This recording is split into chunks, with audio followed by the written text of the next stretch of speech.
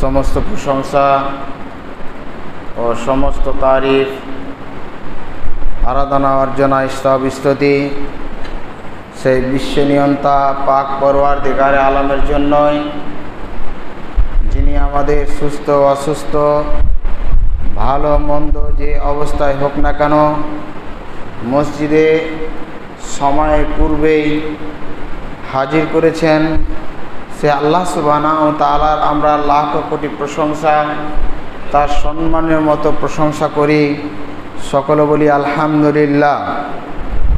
তারপরে পরে আমাদের আখের নবী তাজদার মদিনী, আহমদ মুজতবা, মোহাম্মদ মুস্তাফা, রসুল আরবি সাল্লাহ আলহি আসাল্লামের উপর, অগণন দরুদ হোক আল্লাহ সাল্লি আলাই আল্লাহ বারিক আলাই। আজ খুদ্বার বিষয়বস্তু কুরবানির করণীয় ও ঈদুল আজহার মাসলা মাসাইল। আলহামদুলিল্লাহ, আমাদের সামনে দিন কয়েক পরেই আমাদের ঈদুল আজহার দিন উপস্থিত হবে। আজ হচ্ছে জিলহজ মাসের চার তারিখ। সামনে আর পাঁচ বা ছয়টা দিন, ছয় দিনের দিন আমাদের ঈদুল আজহার নামাজ বা করণীয় কী কী রয়েছে সেগুলো অনুষ্ঠিত হবে।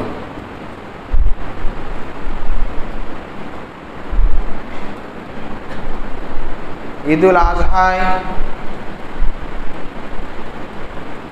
আজ আমাদের কিছুগুলো মাসলা, মাসাইল এসেছে। যে কথাগুলো বারবার শুনি, আমি তো অনেকবার বলেছি, আবদুল্লাহ ভাই, আমাদের প্রফেসর সাহেব, ডক্টর নাজমুল সাহেব, উনিও বলেছেন আর আমার পাঁচ বছর হয়ে গেল এই ঈদে, বকরা ঈদে, আমিও অনেকবার বলেছি। তো মানুষ শোনে না শোনের ভাঁজ করে, না বুঝতে পারে না না কি বুঝতে পারে না।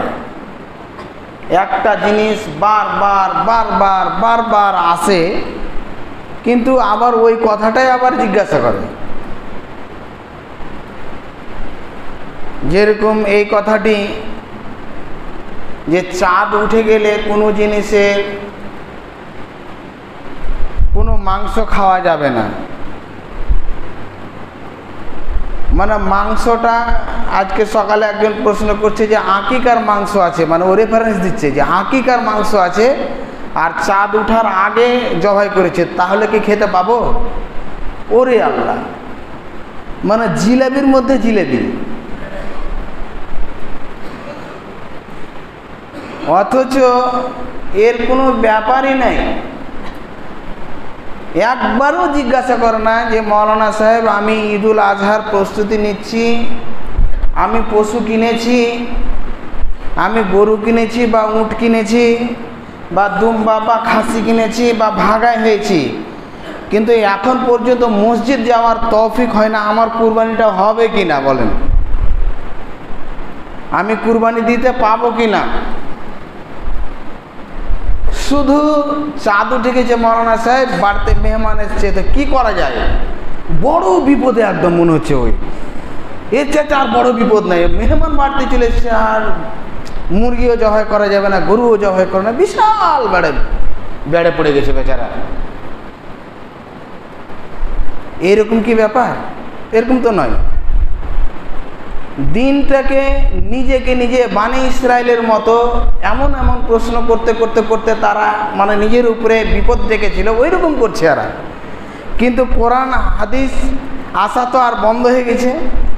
মানে ওহি বন্ধ হয়ে গেছে রসুসাম রুখসাত নিয়ে নিয়েছেন। তাই বলে না হলে এরা যেরকম করছে বানে ইসরায়েলের থেকে কম নয়। মাস আলা হচ্ছে এই যে রসুল সাল্লাহ সাল্লাম ঈদুল আজহার দিন বক্তব্য দিচ্ছিলেন ঈদগাহের মাঠে। ঈদগাহের মাঠে যখন বক্তব্য দিচ্ছেন, বক্তব্য দিতে বলছেন যে আজকে হচ্ছে ঈদুল আজহার দিন। আজ আমাদের দুটি করণীয় রয়েছে। নাম্বার এক, এই সলাত আদায় করা। আর নাম্বার দুই, সলাত আদায় করার পরে, যাওয়ার পরে কুরবানি করা, নহর করা, পশু জবাই করা, যে ব্যক্তি এই নিয়মে, এই সিস্টেমে জবাই করল সেই ব্যক্তি আমার সুন্নাতের অনুসরণ, অনুকরণ করল বা সুন্নাত পালন করল। আর যেই ব্যক্তি ঈদ, ঈদের আগেই কুরবানি বা পশু জবাই করে দিয়েছে, তা তার কুরবানি হয়নি, তার গোস্ত খাওয়া হয়েছে। তার গোস্ত খাওয়া হয়েছে, তার গোস্ত খাওয়া হয়েছে। কামা আবু সাইদ, আবু বুরদা রাজিয়াল্লাহ তালাতে একটা হাদিস এসছে। সেই সাহাবি দাঁড়িয়ে বললেন যে, আল্লাহ রসুল, জবাহা কাবলাল ঈদ ইয়া রসুল আল্লাহ আমি জবাহা করে দিয়েছি ঈদ আসার পূর্বেই, কেন ঈদের দিনে মাংস প্রয়োজন মনে করেছি, আর ঈদের আগে না, পরে না করে ঈদের আগেই করে দিয়েছি, তা আমি কি করব? তা আল্লাহ রসুল সাল্লাহ সাল্লাম বললেন যে, আর একটা তুমি দাও। তিনি বললেন যে, আল্লাহ রসুল আমার কাছে নেই, একটা ছোট্ট বাচ্চা আছে, ছয় মাসের। তা বললেন যে, তুমি ওটাকেই জবাই করে দাও কাফারা স্বরূপ, বা তোমার জন্যে নির্দিষ্ট হলো, লাকা কাসা তোমার জন্যই শুধু, আর কারোর জন্য নয়। এবার ফতোয়া জিজ্ঞাসা করছে যে, বাড়ির আছে মৌলানা সাহেব ছ মাস হয়ে গেছে, এক বছর হয়ে গেছে, দাঁত হয়নি, কি করব। আরে, তিনার জন্যই সেটা নির্দিষ্ট ছিল। প্রশ্ন করছে যে, মৌলানা সাহেব গোস্ত খেতে পাবো কিনা? আল্লাহ রসুল বলছেন যে কুরবানির পশুটাকে জবাই করে দিয়েছে। ঈদের পূর্বে তার জন্য গোস্ত খাওয়া হলো। আর আপনি তো জবাই করবেনই গোস্ত খাওয়ার জন্যে। আপনি এমন মানে প্রশ্ন করছেন যে মনে হচ্ছে যে হারাম না নাজায়েজের মতন ব্যাপার। এই কুসংস্কার কখন উঠবে? এত বারবার বলে দেওয়ার পরে, শোনার পরে ইউটিউব ফেসবুক হওয়ার পরে সোশ্যাল মিডিয়া হওয়ার পরে, বড় বড় অনুষ্ঠান হওয়ার পরে, ইজতেমা হওয়ার পরে, তালিম হওয়ার পরে, আবার যদি বলতে হয় যে ঈদের চাঁদ উঠে গেছে মৌলানা সাহেব, কুরবানি কী বলে, মাংস খেতে পাবো কি না জবাই যদি কথা, মাংস খেতে পাবো কিনা? তো এটাও যদি বলতে হয়, তাহলে আর কি থাকল? কে বলেছে? বলছে যে, আমাদের বাড়ি আলি শুনে এসেছে, লাউ ঝামালা। ওর বাড়ি আলি শুনে রেখেছে। এটা ভাই, নিজের বাড়ির কথা নয়। যে কোনো কথা বলতে হবে ফাস আলু আহলা দিক্রি প্রশ্ন করতে হবে, ওদের কাছে যারা শিক্ষিত লোক, যারা জানে, জানা ব্যক্তির কাছে জানতে হবে। আর যে ব্যক্তি জানবে সেই ব্যক্তি বিল বাজ্ঞানাত ও জুবুর দলিল সহকারে দিবে। ইরান তুরানের কথা বলে দিয়ে কাজ হয় না। তাই মোটা খোলাসা কথা হচ্ছে এই যে মাংস খেতে পাবেন, কোনো ঝামেলা নেই। আপনি মুরগি খান, গরু খান, খাসি খান, সবই খান। আপনি বিড়ি খান, আমির খান, সালমান খান করছেন তো এই খান মনে করিয়েন না আবার। খেতে পাবেন। একটা মাস আলা। দ্বিতীয় মাস আলা আসছে। দাড়ি কাটতে পারব কিনা? দাড়ির তো কোনো কথাই নেই। যে দাড়ি কাটতে হবে কোনো হাদিসে, তার কোনো স্পষ্টই নেই। বোখার হাদিস স্পষ্ট ওয়াফুল্লাহিয়া দাড়ি ছাড়ো, বড় করো। তো নখ কাটতে হবে, গোপ কাটতে হবে, চুল কাটতে হবে, জেরে নাক কাটতে হবে, অর্থাৎ এক্সট্রা যেগুলো অপ্রয়োজনীয় চুল কাটতে হবে, সেটার ব্যাপারে এগুলো প্রশ্ন আলাদাই।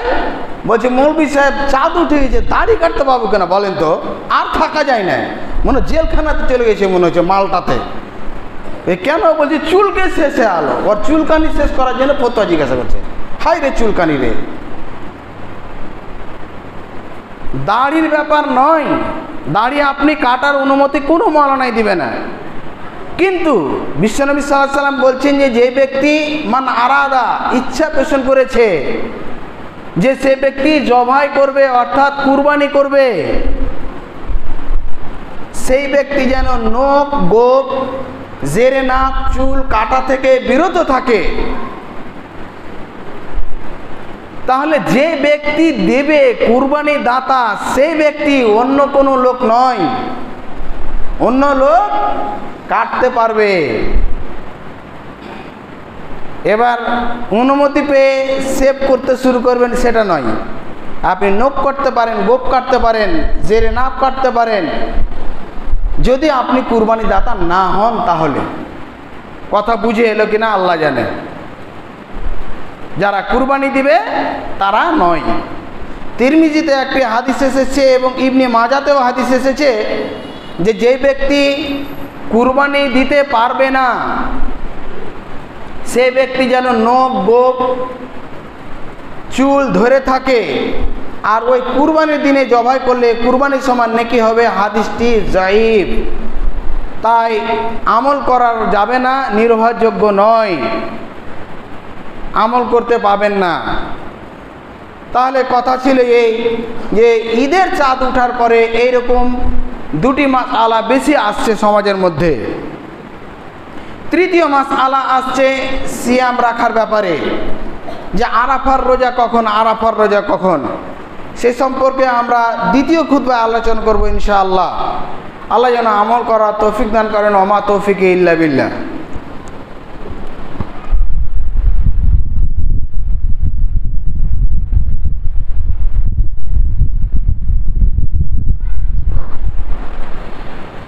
আলহামদুলিল্লাহ ওয়াহদা ওসলাত আসসালামু আলা মাল্লা নবিয়া বাদা আমাবাদ বলছিলাম আরাফার রোজা কবে ও কোন দিন?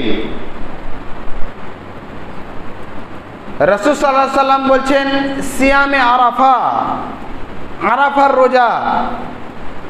আহতাসিবু আল্লাহ আমি আল্লাহর কাছে আশাবাদী যে সিয়াম রাখবে আরাফার দিনে সানাতাল্লাতি কাবলা ও সানাতাল্লাতি বাদা। এক বছর বিগত গুণা আর এক বছর সামনের গুণা তার মাফ করে দেওয়া হবে, আলহামদুলিল্লাহ। এই হাদিস দ্বারা প্রমাণ হচ্ছে এই যে আরাফার দিনে রোজা রাখবে। কিন্তু আর একটি মাস আলা আছে, যেটি হচ্ছে যে নিজ নিজ দেশে নয় জিলহিজ্জা আরাফা রোজা রাখবে, তাদেরও দলিল আছে।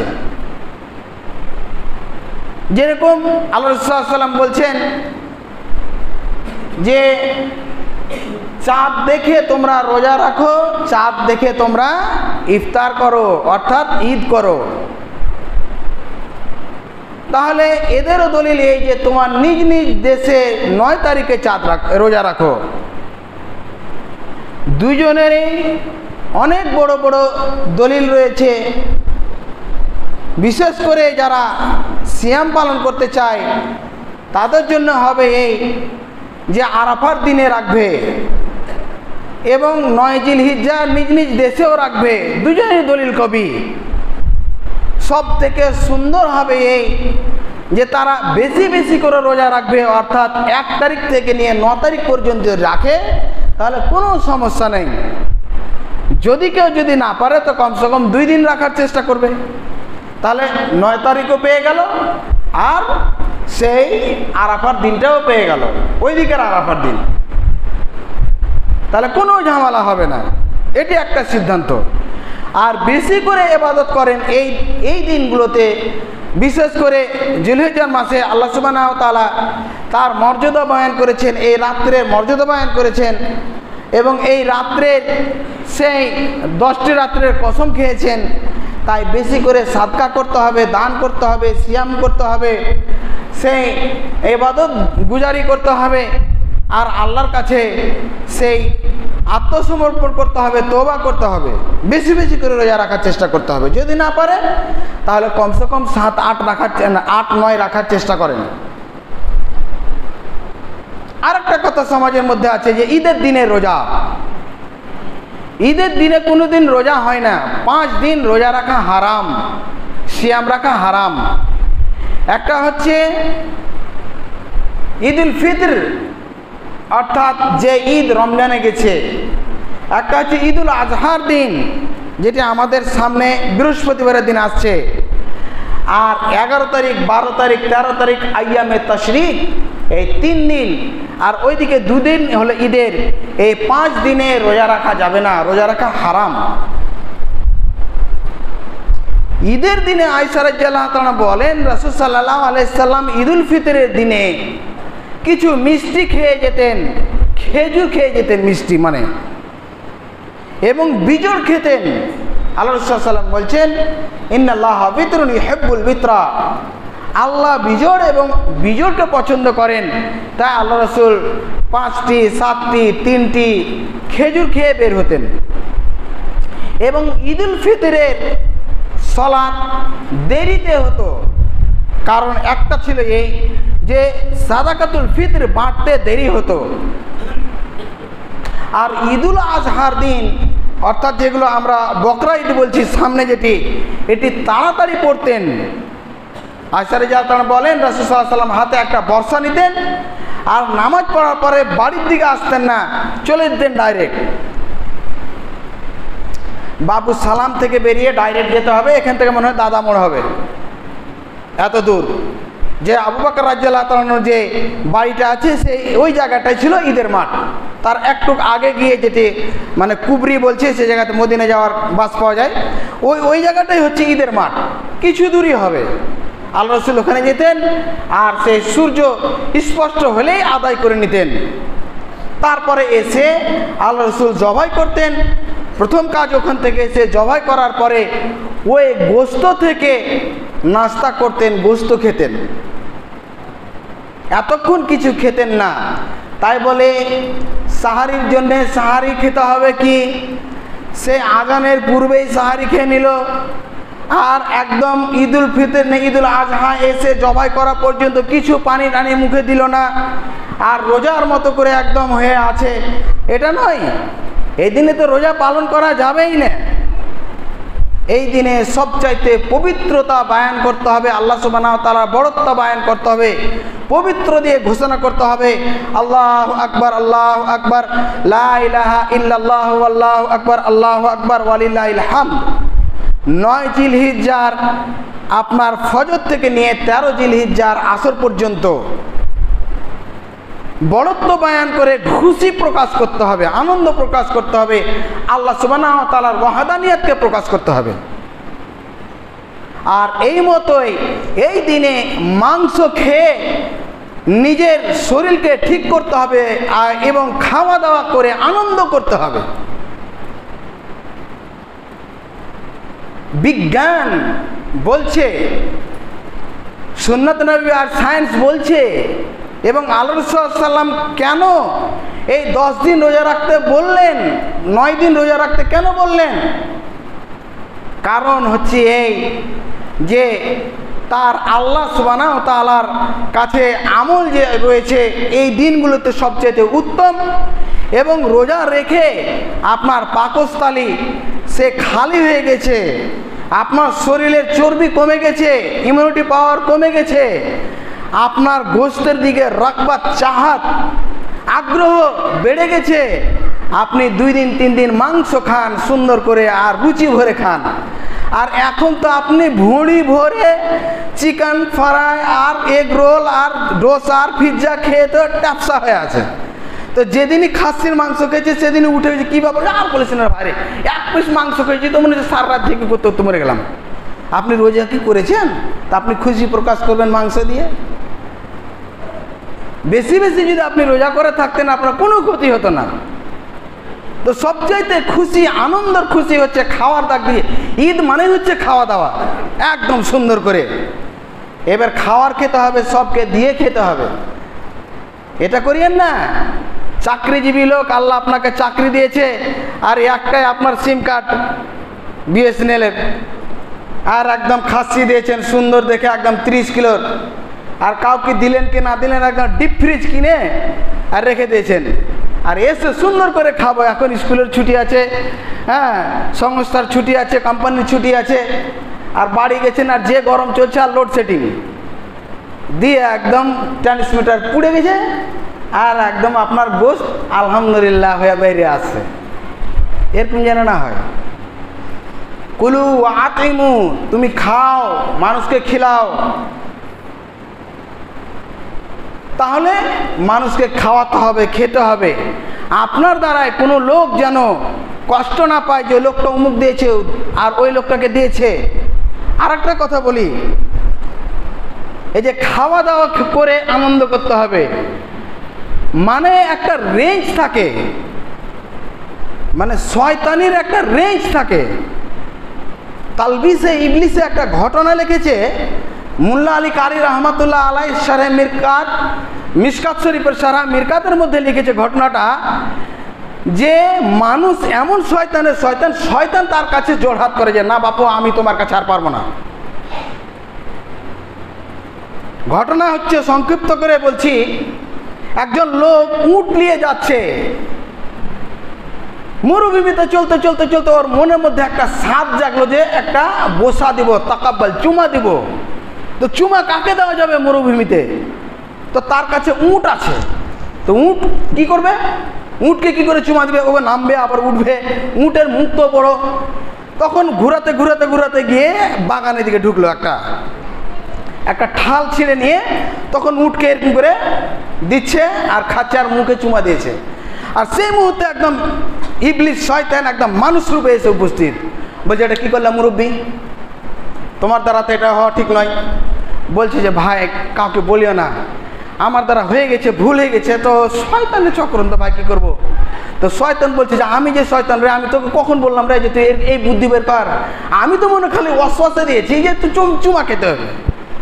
তা আমি বললাম আপনাকে যে গোস্ত খেয়ে আনন্দ করতে হবে, আল্লাহর শুক্রিয়া আদায় করতে হবে। তাই বলে গরুর গোস্ত আর খাসির গোস্ত নিয়ে রাত্রে মদ খাবেন এটার অনুমতি দিনি ওই অনুমতি নয় যে আনন্দ ফুর্তি করতে হবে বোতল নিয়ে রাত্রে। কেউ কেউ নাহান নাহানজার নালায়ক একবার এত ছোট যে ওই গরুর মাংস নিয়ে বন্ধু বান্ধবদেরকে ডেকে অমুসলিমদেরকে ডেকে রাত্রে পার্টি করছে, ওই খাসির গোস দিয়ে মদ খাচ্ছে। এর চা থেকে নিকৃষ্ট জঘন্য কুখ্যাত, অভদ্র, চরিত্রহীন বাদাখলাক বাদকিদার বাদনুমা বাদ্যাহিব আছে? হ্যাঁ?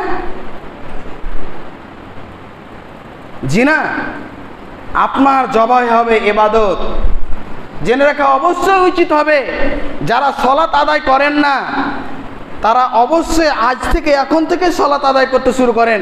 তাহলে আপনার কুরবানি কবুল হবে না হলে আপনার কুরবানিটা অবশ্যই দেওয়া হবে, কবুল হবে কিনা আল্লাহ আলাম। কুরবানির জন্য এত ব্যস্ত একদম, দৌড়তে হবে, নিয়ে আসতে হবে, দিতে হবে এ করতে হবে করতে হবে। আর মসজিদে মসজিদ সাহেব আজান দিচ্ছে, হাই আল্লাহ সাল্লাহ, হাই আল্লাহ ফালা বলছে, তোমরা মসজিদ আর ইমাম সব চালাও। কোনো ব্যাপার নাই, আসার দরকার নেই। কুরবানি নিয়ে এসছে, আর কিসের দরকার? হাই আল্লাহ সাল্লাহ, হাই আল্লাহ ফালার আপনি যদি সলাৎ না আদায় করেন ভাই, আপনার কুরবানি দেওয়া হবে। কুরবানি কবুল হবে না। কেন? যে ব্যক্তির কুরবানি নেই তার কোনো যার যে ব্যক্তির সলাৎ নেই তার কোনো এবাদত নেই। কোনো এবাদত কবুল হবে না। কোনো লোক মদ খায়, তারি খায়, বিড়ি খায়, সিগারেট খায়, গাঁজা খায় ফ্যান্সিগারেট খায়, জেনা করে, সব করেছে। কিন্তু আল্লাহর কাছে মাপ পাওয়া যাবে, পুড়ে পড়ে। ইমান আছে, তার সলাত আদায় করেছে তার জন্যে।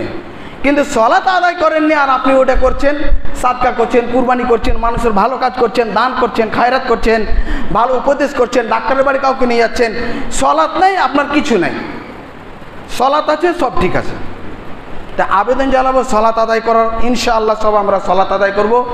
এবং কুরবানি আমরা সবাই জবাই করার চেষ্টা করব। সময় একটা বেজে গেল, কয়েকটা কথা বলব ইনশাআল্লাহ। কুরবানি আমরা নিজে নিজে জবাই করার চেষ্টা করব, এটি একটা সুন্নাত। যদি না পারেন, তাহলে কারোর দিয়ে করা যাবে? কেন আলিরাজ জেলাতান আল্লাহ রসুলকে দিয়ে করেছিলেন? একশোটা উঠ দেওয়ার পরে কিছুটা উঠ অর্থাৎ সাতানব্বইটা আলোচনা করার পরে রসুলাম আলীকে অনুমতি দেন। তাহলে অন্য দিয়ে করা যাবে। কুরবানি করার সময় বিশেষ করে নিয়াতকে এখন থেকে পরিবর্তন করেন যে আল্লাহ তোমার জন্য, তোমার সন্তুষ্টির জন্য দিচ্ছি, আমার পক্ষ থেকে।